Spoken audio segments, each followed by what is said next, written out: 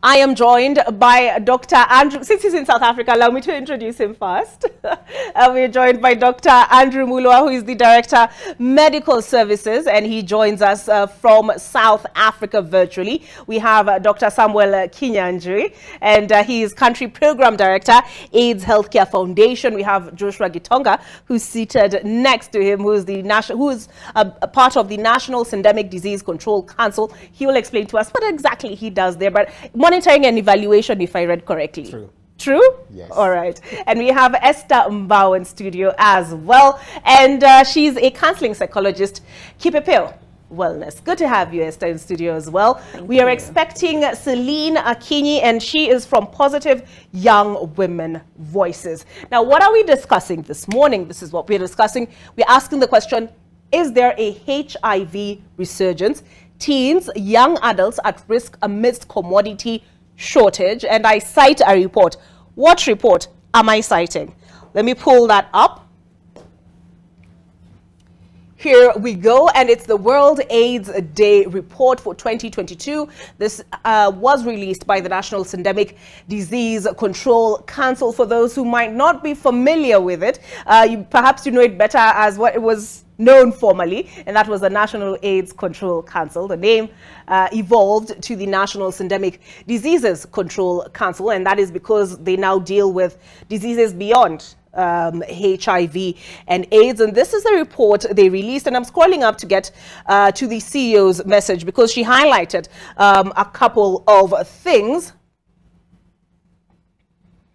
And among the things, no, actually, I was scrolling up to get to the executive uh, summary. Here we go. And among the things highlighted in this report, aside from the positives, right? So let's take a look at the positives. It says uh, key achievements in the HIV response are that Kenya has doubled the number of people diagnosed with HIV and on life-saving antiretroviral treatment from 490,000, uh, 400, uh, from 490,437 in 2012 to 1,122,334 people at the end of 2021. So that is uh, roughly a decade.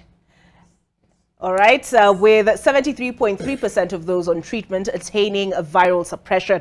Now, there is some concern that has been highlighted in this report. Despite these and other successes in the HIV program, the estimated number of new HIV infections increased by more than 2,000 cases from 32,027 in 2020 to 34,540 in 2021. This report identifies key challenges contributing to this reversal in progress, including the clustering of new HIV infections among children, adolescents, and younger people, and the impact of commodity insecurity. Further, this report highlights the urgent need to address inequalities that reinforce injustice and promote negative health outcomes. So I will start with uh, you uh, because this is your report, Joshua. Yeah. so you own it? Yes. you own it? I do. Uh, what do you mean by this? That uh, this report identifies key challenges contributing to this reversal in progress. Are you talking about the infections increasing more than by more than 2,000 cases in a year between uh, 2020 and uh, 2021? Okay, uh, thank you so much. Um, um, one is just to give an overview, uh, if you allow me, of where we are uh, as Kenya in terms of HIV, just to form the background of the discussion that we're having. Uh, I just want to mention that uh, in Kenya, we know that we have 1.4 million people living with HIV in Kenya. And um, in 2021, uh, we estimated that around 34,540 new infections were acquired. Uh, that's quite a high number. And also, we know that also we lost about uh, 22,373 people. Now, when we think of such statistics in a country like Kenya, whether there, where there is a healthcare that is quite robust, and we have ways to prevent both the new infections and also the deaths because of the treatment that we have. Therefore, that is what we are saying, that now we are calling everybody into action so that we can be able to address that. You've mentioned the report. Uh, this report uh, is the World AIDS Day Progress Report because every year, globally, we commemorate the World AIDS Day. And the purpose of that day is number one, to ensure that we remember those we have lost along the way. And number two, we are able to sensitize uh, the population on really where we are and what we need to do.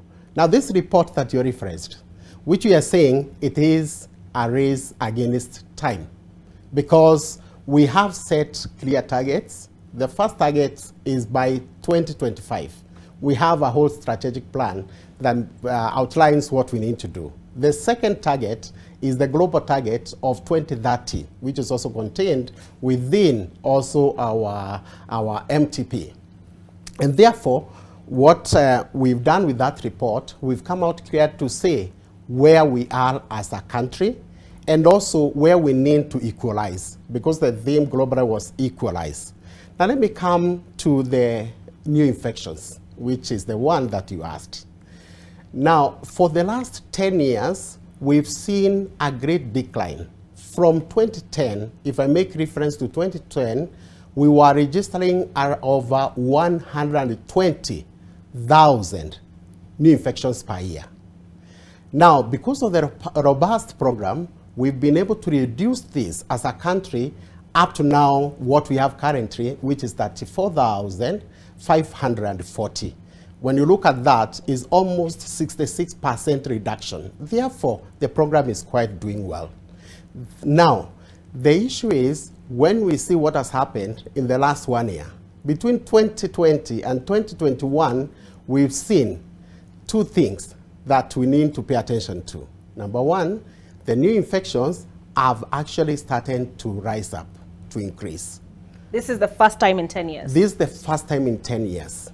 And therefore is something that of great concern, uh, which really we have quite a number of strategies that needs to be put in place. The second thing also, the number of deaths have also started to go up from around 19,000 to 22,000.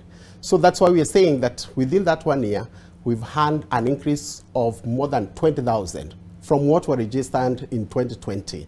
And also the new infections from 19 to 22, that is almost another 2,000 to 3,000 are deaths.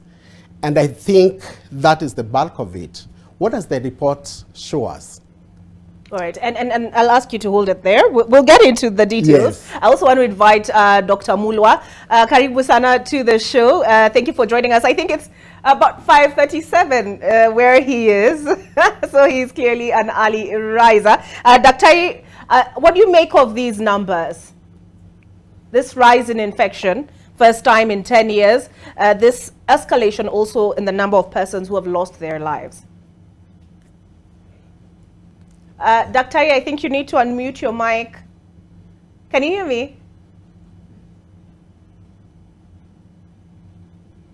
Uh, Dr. I think your mic is on mute, I'm being told. Okay, so we'll, we'll, we'll, we'll sort that out. Uh, I, I, do beg your pardon for that. Uh, but uh, Esther, yes. what do you make of, of these numbers? Do they concern you? Do you think it's a fluke? Um, I think as a behavioral scientist, they are not very surprising to me, to be very honest. 2020, 2021 were very unique years for the entire world. We got into a place where we have never experienced things we've never experienced before. COVID was trauma. And what happened is it came to shake the core of who we are at our humanity. And so what happened is a lot of issues came up and they arose and it was not business as usual. So even with the numbers, I would also say it's not business as usual given what we have gone through in the past two years. Given the rise in the, especially the demographic that we're experiencing, I would say we didn't really give them much um, mental health support as we should have at that point in time. And hence they had to look for coping mechanisms for them to be able to wade through the trauma and for them to be able to say, how do we keep on surviving? We keep saying the father of um, psychology, Freud, was very clear when he said two things drive huma human, yes. um, the human race, food From and sex. And so hence sexual health was not really regarded when, when um, COVID hit in. So as a world, we lost our focus. We stopped looking at all the other emerging issues and we had to put everything aside and look at this is what we are, we are faced with. How do we first mitigate it? But then as we were trying to mitigate and bring down the COVID numbers, other numbers were also on the rise. And this is one of the results of it. So I think in the next coming years, we need to keep a very close eye in terms of what are the effects of these two years in terms of especially this Gen Z uh, generation and how it is going to affect them in the years to come. So for me, it is not really a Because surprise. it's not a surprise. no, it is All not. right. So you're saying uh, these were unique, a couple of two unique Two years. traumatic years. Two traumatic This years. was trauma that we are all living through. And when you're going through trauma, you get into survival mode. And so when you're in survival mode, you're looking for comfort. And comfort means I'm looking for company. And as human beings, if you look for co- comfort and company in the opposite um, gender, things are, are bound to happen. Also, looking for comfort and company in other um, in other circles makes you go to coping mechanisms that are not very healthy. So we're not able to sit down and address and look at how do we mitigate the effects of COVID as it's happening, but as it's also affecting other areas and other um, you know, other diseases and other things we have been trying to, to manage over the years. Okay. So uh, there's a report which was filed by Angela Okech and Mercy Chelangat. Actually, Angela one who shared this report uh, with me on, on this, uh, the World AIDS Day 2022 uh, NDCC uh, assessment, right? So Kenya records rise in new HIV infections in over a decade. And uh, they explain that eight out of 10 new HIV infections occur among adolescent girls and young women aged between 15 and 24. But before I, I look at uh, whether or not girls are particularly vulnerable, and uh, that is because actually there's a term they use here.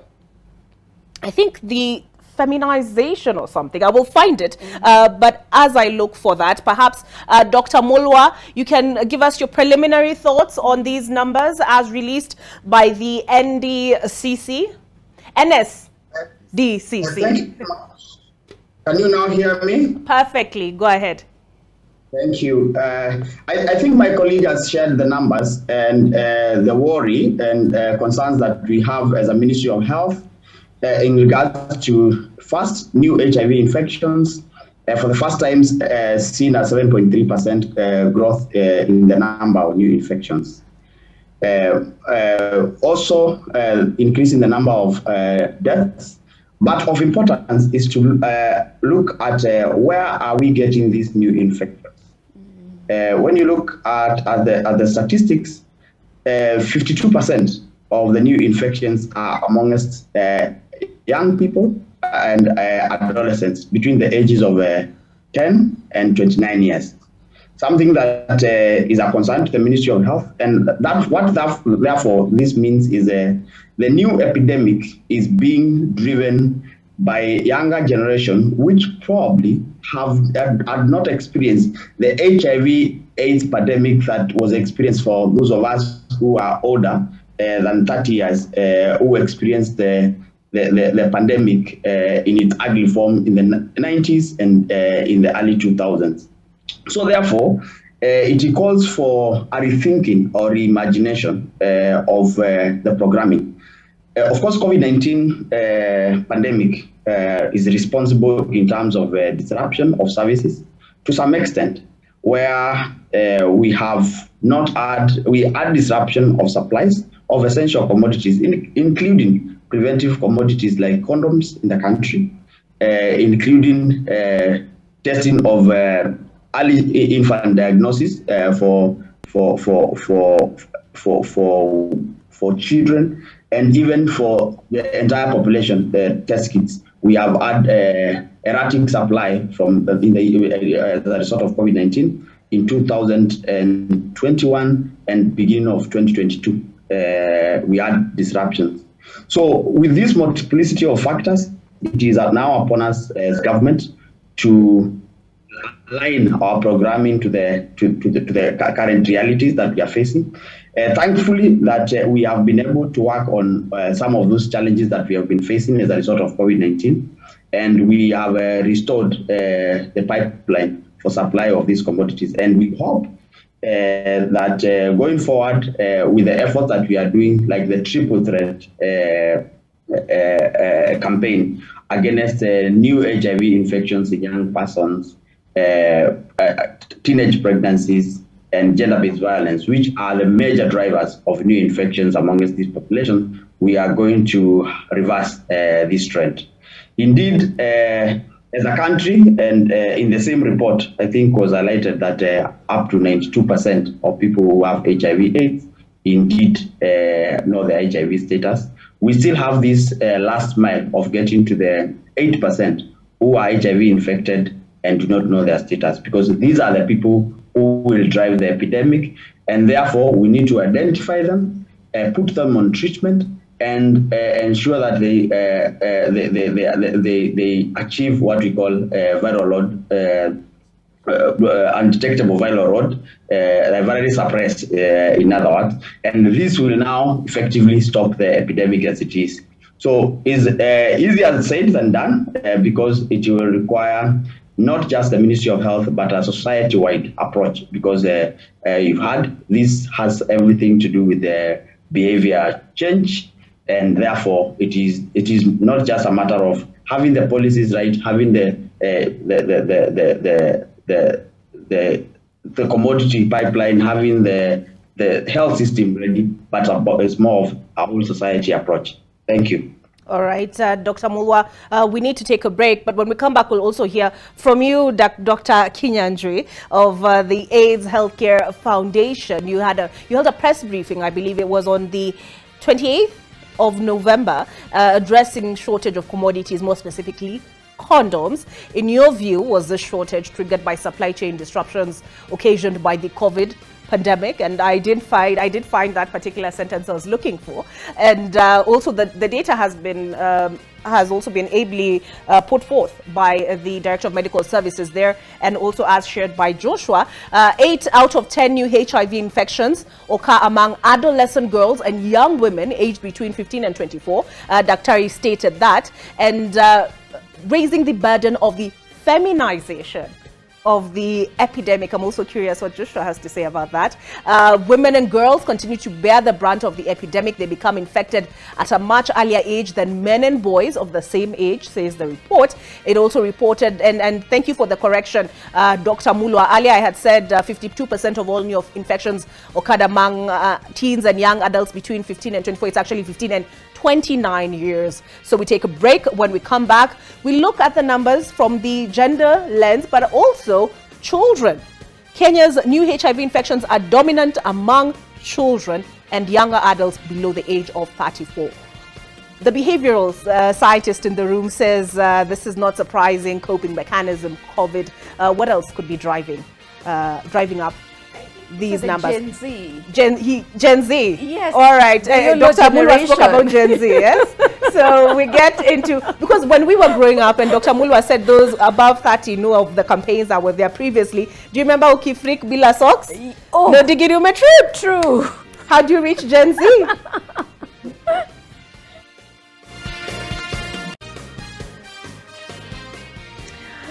Welcome back to AM Live, and this is a question we're asking uh, this morning. Are we experiencing a HIV resurgence? Teens, young adults at risk amidst commodity shortage, according uh, to a report by the National Syndemic Disease Control Council. I think what we've been grappling with before we took the break was, is this COVID related and therefore is it an outlier? Are these figures outliers? And with me in studio, uh, virtual, joining us virtually in studio is Dr. Andrew Mulwa, who is the Director of Medical Services. He is in South Africa. Uh, kindly woke up early this morning to join us. Dr. Samuel uh, Kinyanjui, Country Program Director, AHS, AIDS Healthcare Foundation. And a gentleman I baptized uh, when we were on break, but uh, uh Joshua Gitonga, who is the Head of Monitoring and Evaluation National Syndemic Disease Control Council, and Esther, who's laughing at me, Counseling Psychologist, uh, Kipepeo uh, Wellness joining us in studio now. As promised, we are joined by Celine Akinyi, and she is from Positive Young Women's Voices. Karibu sana, Celine. Thank you for taking uh, the time to join us this morning. Uh, Dr. before we took the break, uh, I was curious, this shortage of commodities uh, we're talking about, and uh, that also Dr. Mulwa referenced, uh, is it on account or down to the supply chain disruptions occasioned by COVID? Um, I wish it was that simple. Uh, I don't believe it's that simple. There are many factors included here. And um, from where I sit, I think there are several things that we can outline as the cause of this shortage, and therefore treat it not as an outlier, but something substantial that we need to deal with. One, the shortage, um, I cannot discount COVID that contributed. But I think one of the main reasons why we have this shortage, now we will continue to see the disruptions, um, is because there is significant uh, reduction in funding from our partners, mainly uh, the US government. I believe they've cut down the um, funding uh, to the H HIV uh, response in Kenya by between 40, if my numbers are not uh, wrong, between 40 and 45 percent from 2017 to what they are giving now. And that's significant. Uh, one of the other commodities that has been affected, completely removed from the budget of the US government, are condoms. Completely removed. If you look at their strategic plan uh, 2024 to 2030, there is not even a mention of the word condom in that strategy. Not a mention. Why is that? I'm just as curious as you are. Because when we talk HIV prevention, we know that condom is central. I remember A, B, C, abstain, be faithful, and condoms. Now they've knocked out the C completely out. And we replaced it with PrEP. This is a medication. To get PrEP, you need, some, one needs to be tested. And therefore, testing becomes a barrier to people accessing. Now, the other thing that has been affected by the reduction in funding is HIV test kits. I believe we've dropped from a high of 11 million year to approximately four, 3 to 4 million. And as a result, we can't even deliver PrEP. As a result, the last two years, while the numbers show otherwise about uh, mothers transmitting HIV their newly born children, infant and children uh, who are breastfeeding, I think the reality is very far from what the numbers are showing because a significant number of mothers who are pregnant during the last two years did not access HIV testing during pregnancy and breastfeeding. And as a result, are living with children who they do not, the mothers don't know their own HIV status, and the children don't know their HIV status. We know if we miss testing them, they may not see their fifth birthday. So I think if there is anything that I'm uh, acutely concerned is about the children below the age of three in our country at this point in time. Particularly for mothers who do not know their HIV status. Those who know their HIV status have been on our doors, knocking every other month saying, can my child be tested now? I've come, we take the blood from the heel of the foot, so they come for the uh, test your socks. And for, a long, uh, for the last two years, we've also had challenges with the same, owed to the same uh, disruption that Dr. Mulwa referred to in the testing of children.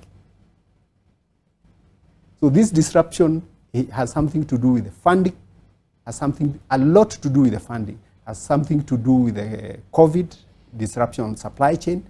But the reason that funding is an issue, that's what worries me more than COVID was. Okay. Because that tells us that this disruption are bound to go on as we continue. Now, coming to condoms, we say they are central. We've had disruption for the last two years. And I'm aware that the government uh, and Dr. Mulwa did indicate that last week they distributed uh, uh, 50 million condoms. They still be in pipeline. Several places have not yet received, but 50 million condoms is what we need, Kenya needs, a month. At best, six weeks. And this is Christmas. I think December is just special. It's a long holiday, everybody is away from duty, and we are into festivities. And if I might quote Esther, a lot of us will be seeking comfort. A lot of us will be thinking to unwind. So what does that mean? A lot of us will be doing something we all know called Vasha. We'll be headed to the coast. We'll be headed to the lake region. What happens is that there will be more activity, and if these supplies are not available, it means there will be more, uh, not only just HIV, because when you look, I look at a condom, we look at a triple shield. It prevents, averts unwanted, un, uh, unintended pregnancies, which is something the young people, Gen Z, are more scared of pregnancy more than HIV.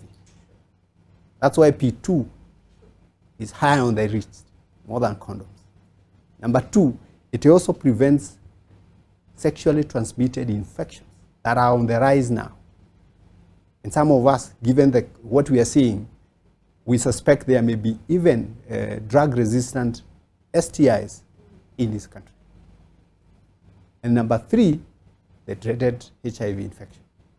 So the condom does more than the other method we use for HIV prevention. In fact, it can even protect you from getting other things like, uh, like um, uh, hepatitis B or bloodborne. Uh, things are passed through the excretions, body excretion. The condom protects. Okay. So we are talking about the three that are salient, Okay. but there are many others. All right, and and, and I want and, and SIC, you really want to jump in at that point, but let's hear from Celine first, and also uh, Dr. Mulwa. I'm curious to hear uh, what you make of what uh, Dr. Kinyanjui is saying because uh, he talks about this shortage, this commodity shortage, this being about more than COVID, which is what worries him, and he's talked about the cut of donor funding. Uh, in the NSDCC report, uh, in the executive summary I read and I read now that they say there is need for increasing domestic res- resources uh, to bridge the gaps in the procurement of essential HIV commodities. And uh, the report underscores the urgent need for country ownership towards implementing high impact interventions to end HIV as a public threat. So, as far as this recommendation, I'm, I'm, I'm keen to hear uh, what you have to say. But uh, first, uh, Celine, uh, kizungu au uh, kiswahili gani kiswahili ndoko sawa nayo so unafanya kazi na uh, positive young women's voices yeah. hili report linaonyesha kwamba hiv infections katika uh, wasichana haswa ime, imeongeze, ndo- imeongezeka. Hiyo ina kusurprise ama ni kitu una expect? Vile uko kwa ground mnafanya kazi kwa ground hivyo uh, hivyo ndo mambo iko? Hiyo ndio mambo iko. Mm, juu tukitembea unaona imeongezeka yani imeongezeka. So ukionda, ukienda kuuliza ukikutana nao hata hospitali una, una ukisikia vile mtu anakwambia alipata hiv anakwambia tu ati vile apati pesa sasa akipata mwanaume ako na pesa itabidi tu waende naye hivyo. Sasa nauliza mbona mwezi tumia trust? Ati sasa kama amenipea 5000 mbona niitishe tena condom? Unaona? Sasa tunajaribu kuambia ifai hivyo, hata ukipata mtu hata kama ni shida hiyo, tumia trust. Baada atakuelewa tu. Na ujue mtu naenda na yeye bila, bila anakwambia muende na yeye bila trust. Ha? so trust sasa ni brand ya condom Yeah, Eh, condom eh, eh. tayari akuna ugonjwa, ndio maana nakwambia muende bila trust, na uko, uko, bado uko mdogo, uko na bado uko na maisha ingine ya kesho, unaona ujaza mm. ushakuwa positive, unaona. Sasa kuna wenye wanaenda tu ati sasa ni hiyo shida ndio inafanya wanajua kuna kazi mm. Sasa inabidi tu akipatana na mtu tu anaenda so uh, vile daktari hapa anasema anasema mm. ni kama hii generation au wadogo ni kama wanaogopa mimba kuliko hiv kuliko ugonjwa hiyo ni ukweli Hey, yes. Mimba, mimba, mimba, mimba, mimba wanaogopa, lakini ugonjwa wanasema tu atakiwa nayo atameza dawa. Ah. Eh. Dawa ni free. Mm. Eh, sa wana, wanaichukua hivyo. Mm. Yeah. Okay. Mm. So, yes, Esther. Um, I, I just want to jump in and say that there are a lot of factors that we need to look at at the social level. First of all, the stigma that we had when we were growing up is no longer there with the Gen Z. Like she's saying, for them, they fear pregnancy because that's responsibility, and they're thinking with HIV, I'll just keep going for, you know, for, for the meds. I'll just be a person living with HIV, but I can continue living my life. That's one social factor. The other factor we need to remember is puberty is coming at an earlier onset age. As young as nine year old girls are starting their periods. However, as a society, have we taken time to talk to our children to empower them on sexual health? Because we are born as sexual beings. However, from the time this child is walking, we are not teaching them the basics of sexual health and that they're sexual human beings. So we normalize the sex talk from an early age. So we need to look at very different social factors that are coming into play. I also like that you talked about the feminine factor that has come in. And we also need to look at in today's age, what is sexuality? There's so many changing trends that I hear even in my therapy room, and I'm like, oh, it's happening in this day and age. So, have we awakened to the sexual trends, to the different things that are happening and that are being affected also by social media and by the pay on TV that we all have, most of us have mm. in our homes, and we're not bringing in all these factors and considering how do we mix all these factors and be able to look at how do we also look at bringing down these numbers and be able to address Gen Z in a way that communicates to them? Yes. Okay, so uh, uh, Joshua uh, Gitonga, I'm- coming to you, Head Monitoring and Evaluation, uh, National Syndemic Disease Control Council, and I'll come to you to ask you this, right? Because for a long time we were trying to destigmatize HIV and AIDS. We told people it's okay even if you have it. Uh, there's medication. You can live a long, healthy life. Are we now going to turn it around and, and, and, and strike the fear of God in Gen Z and tell them, you guys, this thing is, can kill you? You know, so what's, what's, the, what's the strategy then? Because remember, like I had the fear of God instilled in me as far as HIV is concerned when I was growing up, uh, and, and people will say I've betrayed my age, but yes, but now I don't see as many. There was this, the self-testing kits. I think I saw that campaign the last, uh, but not as many campaigns as I saw growing up. Do I see now? And anyway, they're on Netflix and Showmax. Uh, how, how do we reach them? Uh, but first, uh, Dr. Mulwa, I'll invite you to speak to the issues that were raised uh, by uh, Dr. Kinyanjui with regard to commodities, donor funding, and what the NSDCC is recommending, which is an increase in domestic resources. Thank you. Thank you very much. I, I think I, I want to first uh, associate myself with the comments of Dr. Kinyanjui that uh, our HIV financing has been and is still heavily financed. Uh, Kenya has, in the last five or so years, uh, been classified as a middle income economy. And what therefore means to the country is that uh, uh, less and less of donor financing is coming to the country. And therefore, this uh, has, has affected our HIV uh, uh, programming.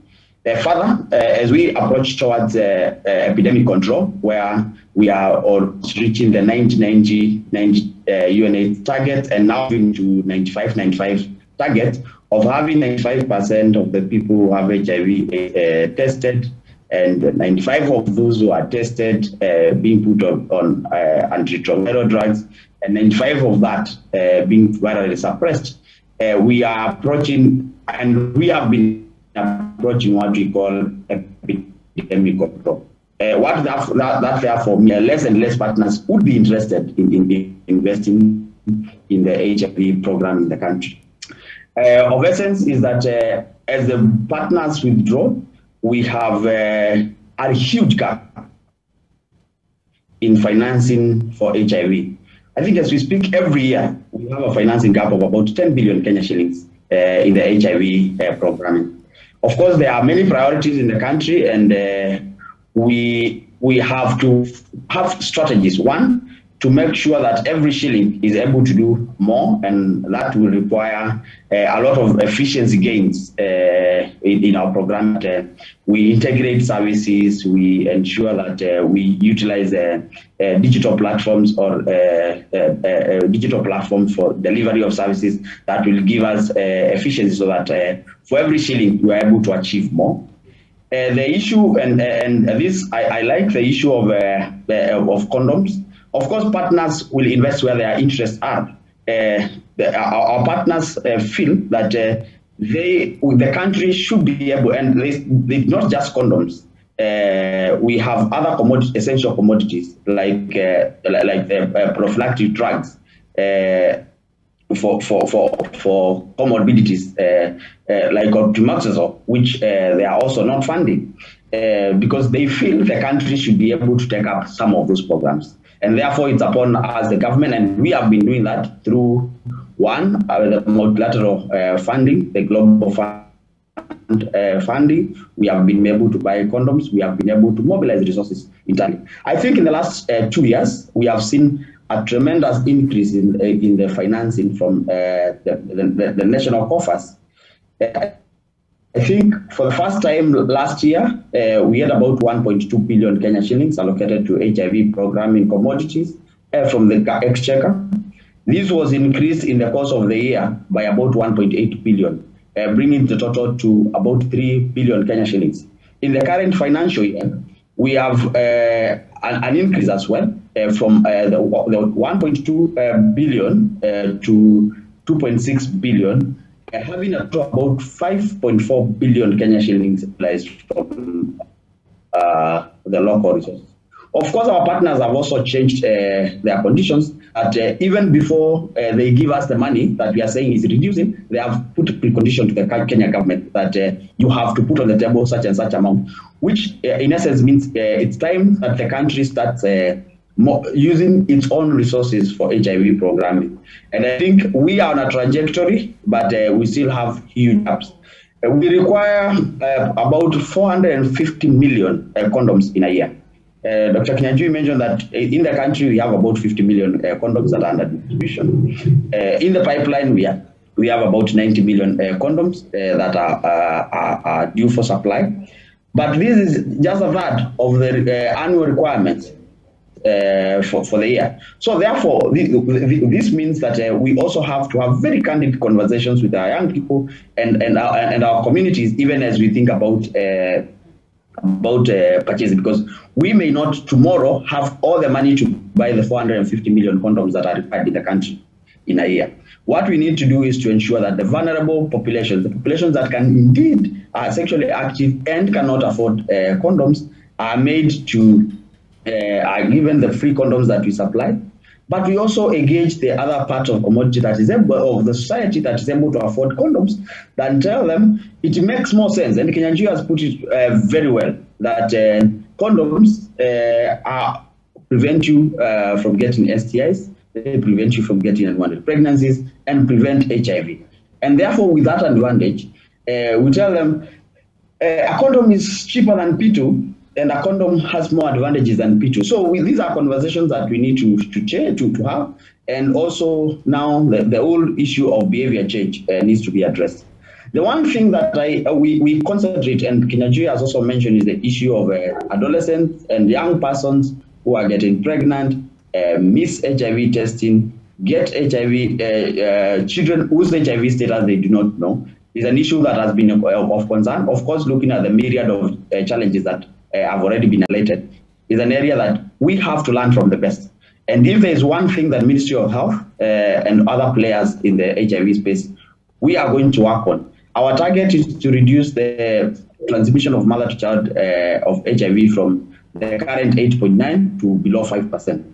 But we feel in the next five years, we should move to even below 2% because if we are able to close new infections among us uh, children, then we will be uh, able to have HIV-free children and an HIV-free generation. Then the rest can be done through the messaging, and uh, uh, we have uh, been rightly told that we need age-appropriate sex education from an early age, and sex education should be from infancy, through childhood, through teenage, is, is, not something that you wait until young uh, children grow to the age of teenagers and you start bombarding them with health education. It should from early, and uh, that is why, as a ministry, we are looking at now developing the uh, sexual uh, reproductive, uh, the first uh, sexual and reproductive health policy for the young persons, so that uh, age-appropriate health education is inculcated from an, an early age. finally, as I conclude, the issue, the role of men in the drive of this pandemic or a new epidemic cannot be ignored. That whereas uh, and, and, and the report rightly says that uh, there is feminization of the HIV infection. But the reality is the man is the driver of the feminization. One man, and studies have shown, one man, because we are doing uh, targeted uh, testing, uh, one man is able to infect up to five women uh, with the HIV. And therefore, that means if we are to close the tap of new infections, then we have to make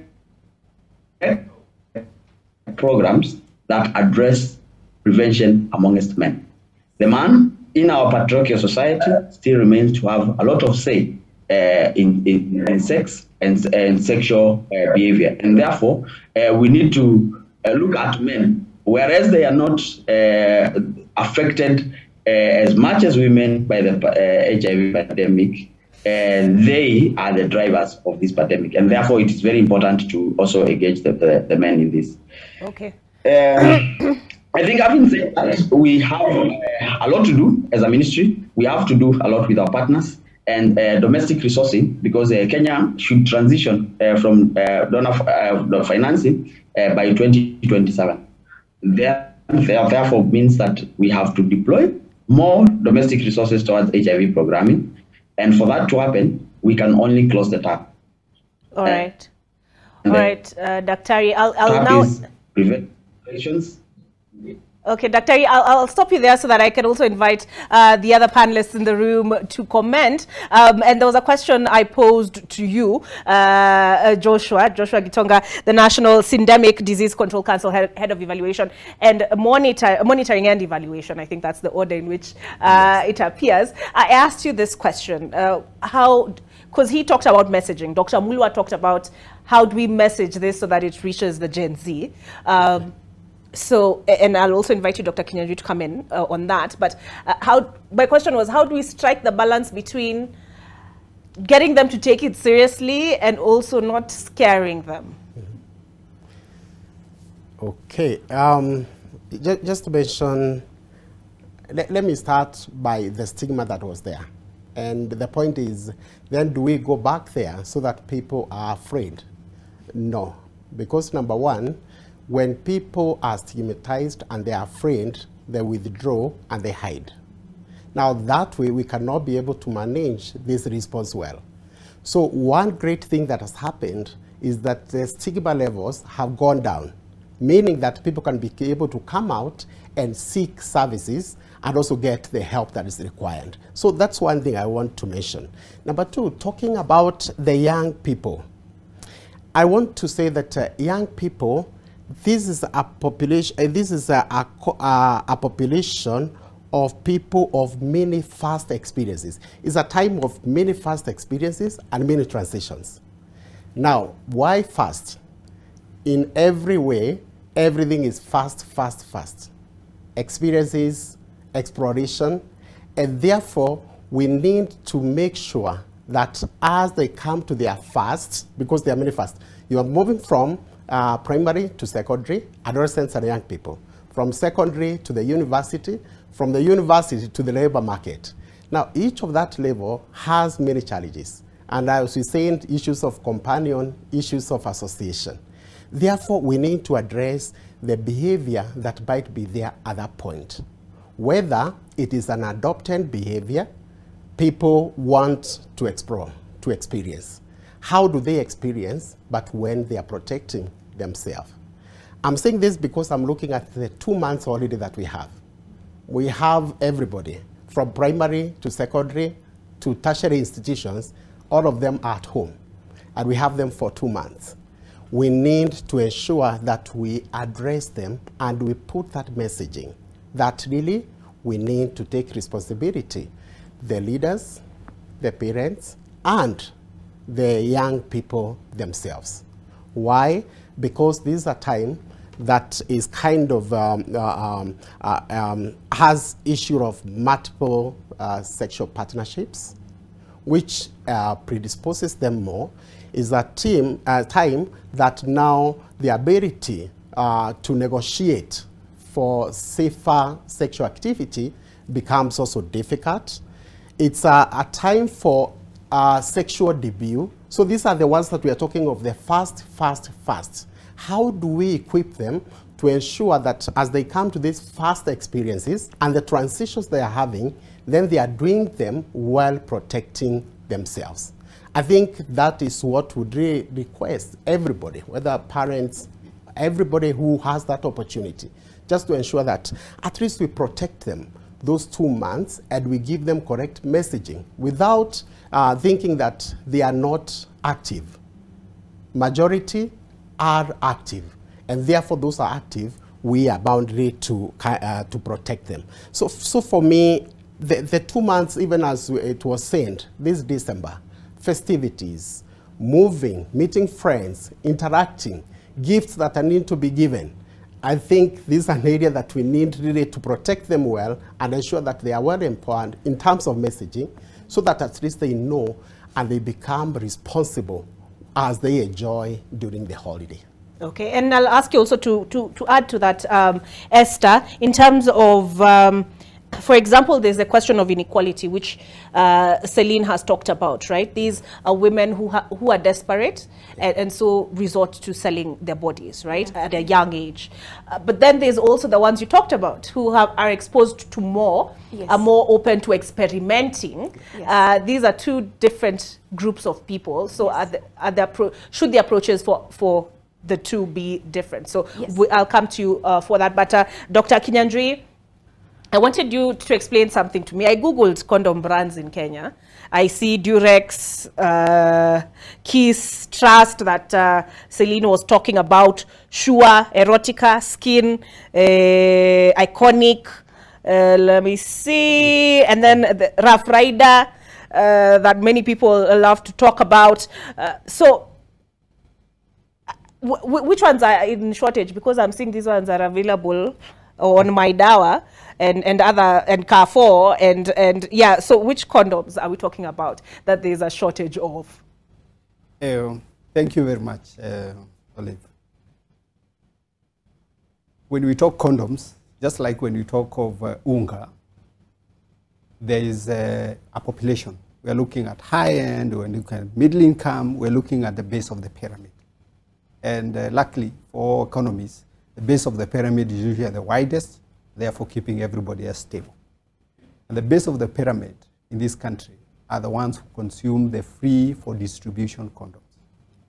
Those are the ones that are out of stock, that are, uh, supplies have been erratic. And interestingly, even those who are selling uh, the, the, the, the, what we call socially marketed condom, like Trust, my sister talked about here, even with this shortage, they have not seen increase in sales because those who consume the free for distribution, 90% of them can't afford. I'm looking at the report, uh, there was a report uh, in, the new, in the news yesterday or a few days ago claiming that um, the, the income of Kenyans has now increased mm. from a certain percent, from to 20, certain, to 20, to 20,000. Yes. That means most of the people are earning actually. And if you are to budget a budget of 10,000 in this country, in this city, putting house, put uh, food, put uh, uh, school fees, and all other necessities, there is really no room for the condom. Now, aware of this, we are dealing with a public, uh, an, uh, disease of public interest, an infection of public interest. For this reason, yes, that's what I'm referencing to. For this reason, we need, everybody need to be safe if anybody was to claim to be safe. Because while we seated wherever we are, we don't know who our better partner is. We do not know where our children are, and what they're up to. So if my children are not safe, no one else's children are safe. Because this is something that is contagious from one person to the other. Dr. Mulwa has ably reminded us that the man is a key driver of the infection because it can be all over the place. The other thing is that because of the biology, men tend to infect more and to be infected less because of the nature of the biology. One is entering into a house and leaving, and the other one is staying at home with the goods that were delivered. I guess I, I, I, I think you understand. Hmm. Now, the other thing is that while the men are less infected, another point we need to mention very clearly is that they are dying more. The deaths we are seeing are more in men than in women, Is that because they're less likely to get tested? and to, and to adhere to treatment. As they travel all over the place, they don't adhere to treatment. Now, let's, let me come back to the question you asked me about condoms. So the condoms that are missing are the free for distribution. From the government, there is a sure condom. From AHF Kenya, there is Icon Gold. It's our premium condom. There is Love condom. Maybe that's why it's not even being seen because for the last two years we've been unable to import because our donor has declined to pay to bring in condoms and pay taxes.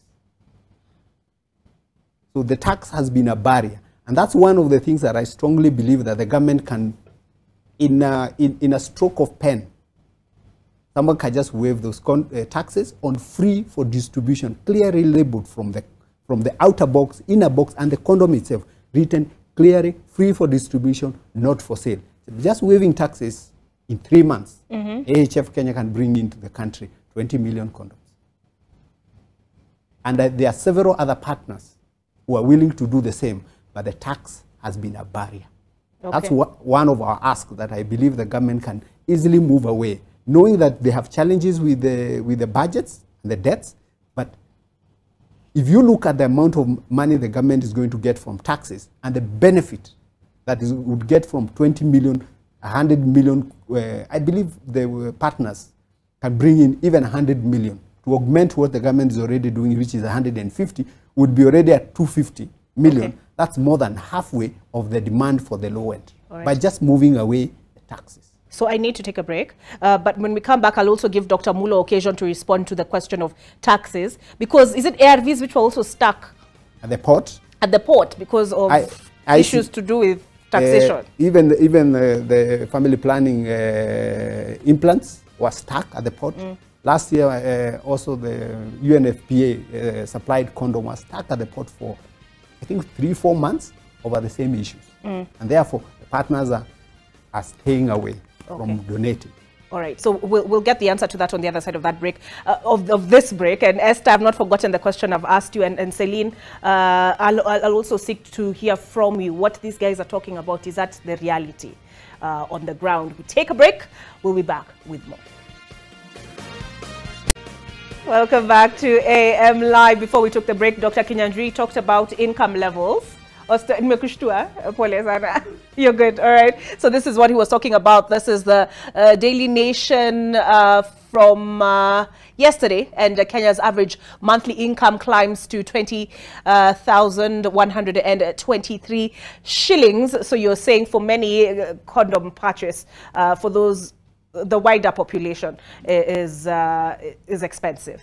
All right, so um, I'd like to invite Celine at this point. Celine, mambo kwa ground juu tunasikiza na nilikuuliza hii swali ukaniambia watu ni kweli wanaogopa mimba kuliko uh, kupata HIV. So ni nini tunaweza fanya? Tuna, tu, tubonge nao aje?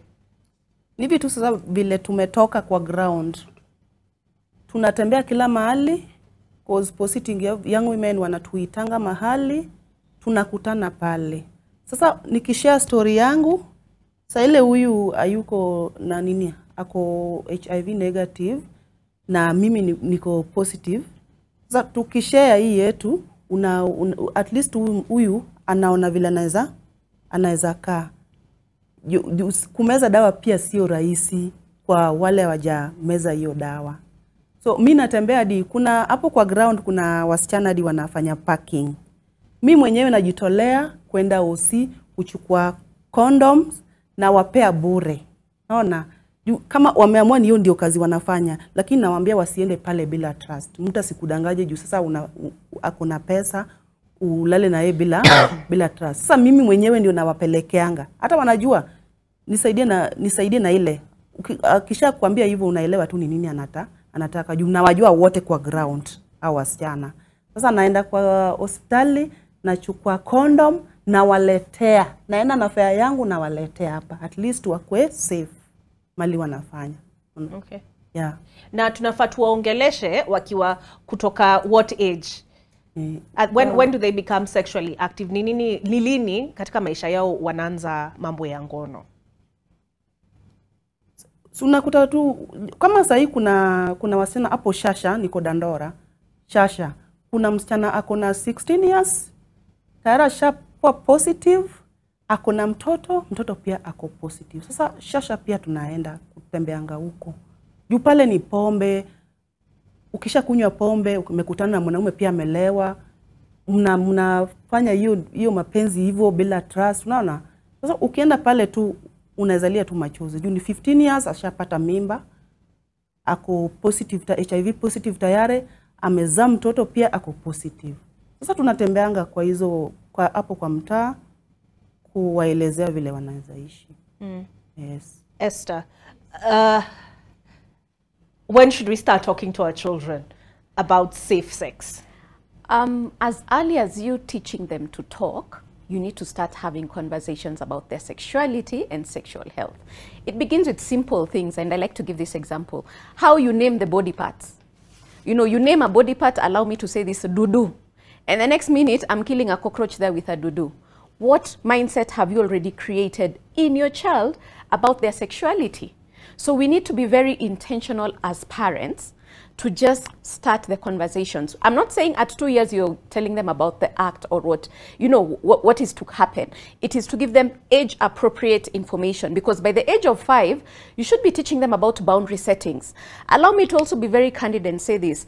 The girls are also being very vulnerable because we've not taught them to say no. We've not taught them to set boundaries. We've not built in them a value system for them to first value themselves because we know to an extent, in terms of sexuality, there's a value that a woman derives from having engaged in sexual activity and being found attractive by the opposite sex. So just being able to lay the foundation in terms of their boundaries, in terms of value systems, and in terms of normalizing these conversations so that these children, you're able to continue to grow with them as they get to the stage of being sexually active, then you can have these very honest and candid conversations. Allow me to throw a spanner in the works. We have a condom sh- shortage at this point in time. Does it mean that we now allow, you know, it's free fall? No, we look at what can we do with what we have to be able to mitigate new infections. What can we do at this point? Because I keep saying if you're breathing, you still have a chance to make amends. What can we do at this point in time with this long holiday to be able to put in measures that we can be able to take care of our young people? So conversations need to be had. And I like that she's going around having the conversations. But the parents who are watching us today, have you worked on your own sexuality? Then you'll be able to have these conversations with your child. Because i also keep saying our youth are a direct reflection of what is also happening to the older generation allow me to be honest and say that it's just that they are not empowered enough to put in the measures for them to be able to say this is how i'll prevent in as much as i'm engaging in these activities. So conversations need to be had. As parents we need to take up our role. Allow me to say this. Let's not mitigate it to just the school and the church because i know a lot of programs are happening currently courtesy of the church. And also at school, we have the life skills programs that has been ongoing. However, you're supposed to be the fundamental source of information to your children. So as parents, we need to step up. As a society, it doesn't mean that you're only a parent to your biological children. We are Africans. So in Africa, we used to say your uncle could also be your parent. So as a society, are we taking up our roles as the older generation to be able to have these conversations with the younger generation. And this is where I call for us to be able to be a, to look to focus a bit more and look at with these holidays. Because also let me put it across. These holidays, our children are coming home with a lot of stress. They've been in school for four terms. They went to school with the effects, you know, with the trauma effects of COVID. So this is when they get to relax. How will they re relax? If we are not intentional about these holidays, this is where they end up engaging in sexual behavior. And like we're saying, there's a condom shortage. What will happen at the end of the holidays? Okay. Yeah. And uh, I- and uh, then because one of the questions we are considering, uh, Joshua, is uh, how do we reach them? Where do we reach Gen Z?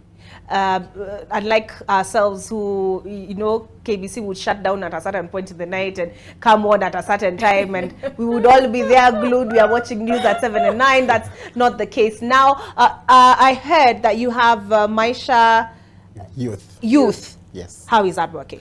Okay, great. Um, I, I think for this generation, uh, Zen, we, we need to reach them differently. Uh, number one, we know majority of them are in school. And therefore, the first thing that we are doing is to work with the Ministry uh, of Education to ensure that uh, there is introduction of um, uh, sexual education or family education or health education within the curriculum. That has been done. The second thing that uh, we are doing is that also we have Maisha Youth, and this takes care of them that are out of school the youth out of school, and therefore in every county we have, we call them Maisha Youth chapter. And this is where they come together, they dialogue using a language that they can be able to understand. So they reach to the others, and that is something that's ongoing. The other thing is that uh, you've heard that uh, we have a country, a countrywide um, uh, campaign, and we are calling it Triple Threat. Triple threat is to address the three threats that we've referenced. One, there is issues of uh, adolescent pregnancies, and we are saying that we've also seen uh, adolescents aged 10 to 14 years still presenting in health facilities when they are pregnant. Now, thinking of 10 to 14, that's a child who should be in school and enjoying childhood. That's the kind of situation that we have. Um, number two, we are talking of the issues of sexual and gender-based violence. We can't be able to rule out issues of sexual violence, whereby you have the young people uh, uh, uh, being, uh, their rights being contravened in terms of rape and other exposures that are really uncalled for. And uh, the last thing is the issue of new HIV infections. And I would say that, as we've said, this is one uh, generation that we are seeing the number of new infections going up. So as we try to find out where the, the increase in new infections is coming from, is actually from young people. They are contributing quite a lot. And therefore, in the discussion, we can't rule them out, but also uh, through uh, NSDCC, uh, we have a campaign for all 47 counties. Right now, we've reached 47 counties. And what are we doing? We are working with, um, with, with the leaders within each county, community leaders, government leaders, county leaders. We bring them together, we dialogue, and then commit as a county how do we reach out and protect uh, the young people. So that is something that is ongoing because we know, as it has been said, this is also the, uh, the, um, the group that will say, Nikon ID. And these days, it means Nikon ID, it means then I can do almost everything.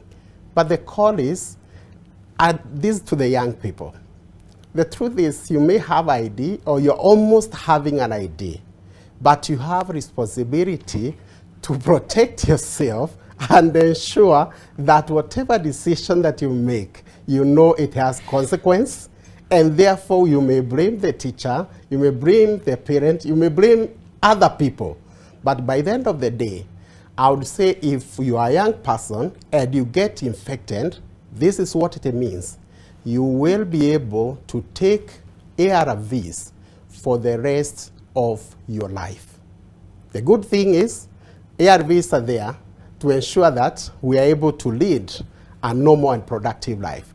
But it means that we have to take those medicines the rest of our lives, unless the science, uh, sci- the science changes. But where we are right now, we need for life. We need to every time consider that decision that we are making and ask ourselves, how much are we protected? All Thank right. you. Uh, Dr. Kinyanjui, I'll, I'll come to you, but first I wanted Dr. Mulwa to respond on the question of uh, taxes. And, and the question I'll come back uh, to you with is this. We, I don't know, I don't want to call us a pretend conservative society because we tend to do certain things behind closed doors, but in public, uh, we refuse to address these subjects. And, and the reason I ask this is uh, when we're told we have 10 to 14 year olds presenting uh, with pregnancy in healthcare facilities, it means from as early as nine, Yeah. they've been engaging in sexual activity. There was a proposal to provide condoms in schools. And also, when we're talking about uh, uh, sex, sex and reproductive health uh, being incorporated into the syllabus, how really what my question is, what, uh, are we really addressing the questions that this generation has? Or are we, uh, uh, are we teaching them from a pulpit uh, sort of uh, position? My question would be, are you teaching them from 1980 or are you teaching them from 2022 year? Uh-huh. Yes. So that that is uh, my question, Dr. Kinyanjui. But before uh, you respond uh, to that, so basically the question is: this, Should we change our approach? Should we consider, for example, if they're having sex from as early as nine, uh, by making condoms available to them freely, are we encouraging them? Uh, to engage in sexual activity, or are we simply uh, facing the reality of the times? Uh, I'm seeing Joshua is like, thank God she didn't ask me that question. Uh, but uh, Dr. Mulwa, the question of, of taxes, uh, the gentlemen here have made the case that prevention is better than cure. They've talked about, uh, you, I think uh, you, you all talked about a gap of 10 billion shillings uh, that, and ARVs alone per year could cost. You talked about, Dr. Kinyanjui, uh, for a person buying a condom? Okay. Buy, buying a condom will be like a thousand per year. Uh-huh. The government was to invest versus uh, spending uh, upwards of thirty-two thousand per year on ARV treatment Per person. per person, and this is a lifetime. Okay, so why not prevent these cases to begin with uh, by uh, doing away with prohibitive taxes, uh, for instance? Uh, uh, thank you very much. I, I think uh, seated here, I don't think with, uh, anyone, any one of us is competent to talk about the issues of taxation. Uh, uh, but uh, I think as a government, we have tried uh, and, and we have been engaging our partners to seek for tax exemption for donations. The, the, the thing that is, the, and this is in the purview of the National Treasury, it's not something that the Ministry of Health can do. We propose uh, and, and we have been push, pushing for, for shift so that uh, uh, donations for condoms and other medical commodities are exempt from taxes. Of course, uh, is in a state of economy where uh, much uh, the, the, the national treasury business is to collect as much tax, taxes. We are the same people who, are, who go to treasury and ask for more resources, and they will tell us where will we get the, the resources if you are the one asking us not to collect taxes. Uh, for some of the commodities, but uh, I think these are a conversation because we have done it uh, with the uh, global fund, done it with the, uh, the U.S. government uh, financing, and we can do it with other partners. Where first there is a forehand declaration of such donations, so that we know in the coming year, AHF, which is the organization that Kinyanjui works for, is going to deliver or is going to donate uh, 20 million uh, condoms worth this value and uh, they are so declared. So when when when this is done, and I think uh, we have been having this uh, conversation uh, with, with, with, with, with, with, our partners, so that we can be able to ensure that uh, we can work with Treasury and have this uh, get done. Uh, of course, it's the same thing for uh, for the commodity have been in the news. Uh, Ministry of Health, I think some vaccines expiring, having stayed in the in the, in the for three years, uh, worth billions of shillings. We have had family planning commodities as well, and it it, it, it all begins before uh, these commodities leave their country of manufacture to the country to, to, to Kenya. First, we, they must be in the master roll uh, of uh, tax exempt commodities, so they, they are declared before they are shipped.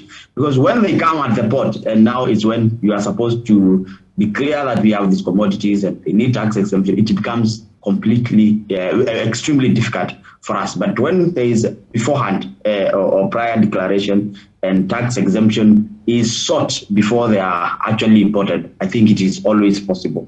And we have done that before. And uh, just weigh in on a conversation that uh, you are having, we are having on the issue of young people. I think the Ministry of Health uh, recognizes uh, the, the, the, gaps in sexual uh, education that exists in the country. I think it is based on that that the Ministry of Health developed the teenage guidelines, which is a guideline that can be used by caregivers, by adolescents themselves, by uh, community leaders, to understand the issues of uh, adolescents and young people. And it's an holistic approach, uh, making the right relationships, sexual education, uh, body hygiene, healthy living, physical education, all these things are part of that. Uh, we also recognize as we are developing that, that we do not, our parents today uh, do not actually understand how to deal with adolescents and young people because they are exposed to too many information from so many sources and therefore the parents sometimes even don't know what to do. We are actually in the in the course of developing a parenting guideline because we have realized we have to plug in the gap and we are coming up with a parenting guideline that parents of young people of adolescents can have a doc that they can uh, refer to because sometimes I am an, an, a father to, to teenagers Sometimes I honestly, even as a doctor, I honestly do not know what to tell them.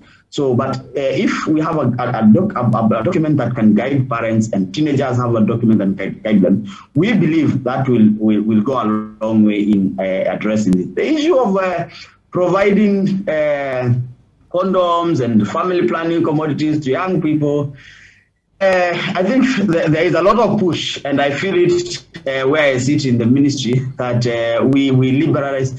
But uh, a ten-year-old is not an adult, so they are not able to make conscious decisions on their own, and that's why every time we talk about uh, reproductive health and sexual education, we talk about age appropriate giving a child a condom does not solve a uh, problem. It actually uh, it actually gives brings more problems to society than than, than, than giving them an education that is appropriate for their age.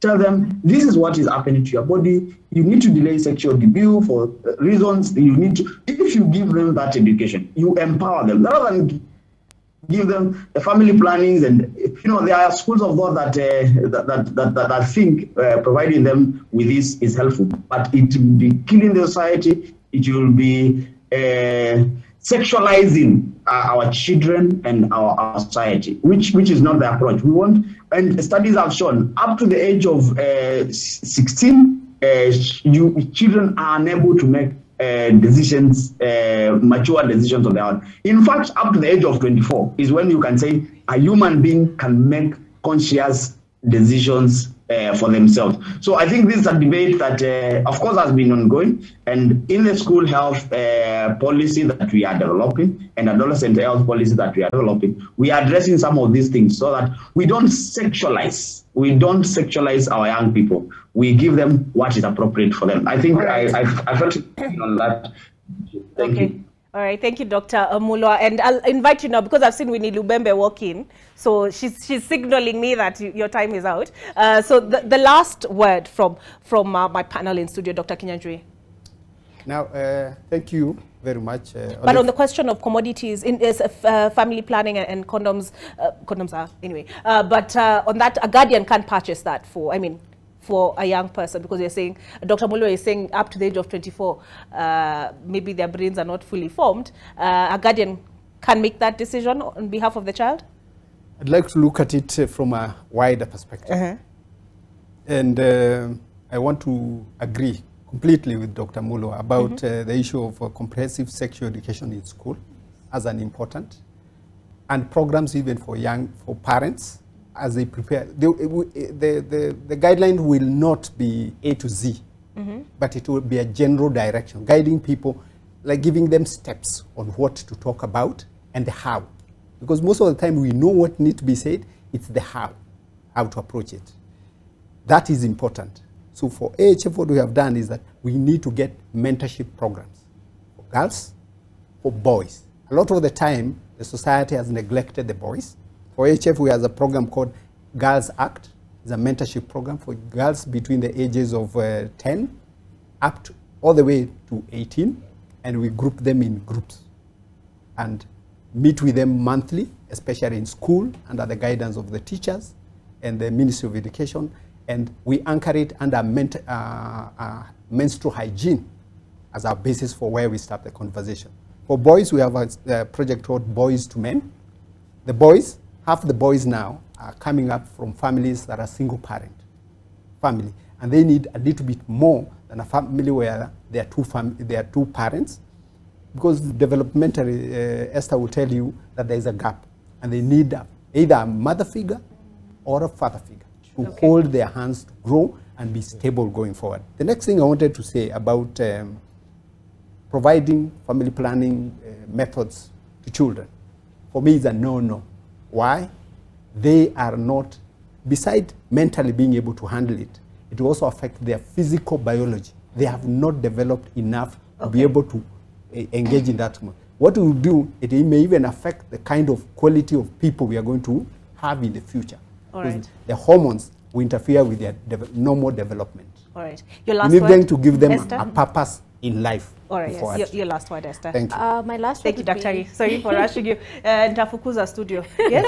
I think my last word would be let's let's keep having these conversations and let's be very candid and honest honest about them because our children know a lot. It's just that we've not given them a platform to share what they know. We normalize it and then we're able to psychoeducate them and give them the right information for them to be able to make appropriate, um, age appropriate decisions. Like everyone has said, our children are not ready for contraceptives and condoms because mentally and physically their bodies are not ready. So we need to go back to the fundamentals. And I cannot overemphasize, let's have conversations. All right. Your last word. Okay, thank you. Just to say that, um, one, we know that uh, treatment works. We have 1.2 million on treatment. There is around 250,000 who are not on treatment, meaning they don't know their status, and therefore we need to ensure that we find them, identify them, and start them on treatment. The other thing is that uh, we know uh, that uh, because of that, being not on treatment means they are transmitting HIV, and therefore there's need for us to protect. Whether it's the young people or everybody, we need to ensure that we protect ourselves. Finally, just uh, on the young people, it's just to say that uh, we have two months holiday for them that are in school, uh, primary, secondary, and, uh, and tertiary institutions. I think we need to take that responsibility and ensure that um, we are able to celebrate well during these holidays and protect ourselves. All right. Thank, Thank you very you. much, Mr. Kitonga. Uh, Celine, ni message gani ungetaka kuacha hawa wasichana wadogo nayo? Oh, mi, mi naweza sema kwanza kwa kwa wamama tusikwe wakali kwa wasichana. Unajua unaweza kuwa mkali sasa mtoto akipatana na kitu mbaya huko hawezi kakuja kukuelezea juu ukianza akianza kukuambia we utapiga tu kelele. So kitu kifanyika mbaya mtoto atakuanga kinyamaza tu. So ndio itafanya tu akitoka hapa hiyo anapata hiyo ugonjwa nje. Naona. So tusikwe wakali wa mama. Then ukiwa positive meza dawa. Hizi dawa ni bure. Meza dawa. Sasa ukiwa mgonjwa hakuna mtu anaweza jua. Labda ukijiachilia utaki kumeza hiyo dawa, ndio mtu atajua kama uko, uko na nini, uko mgonjwa. So okay. umeze dawa.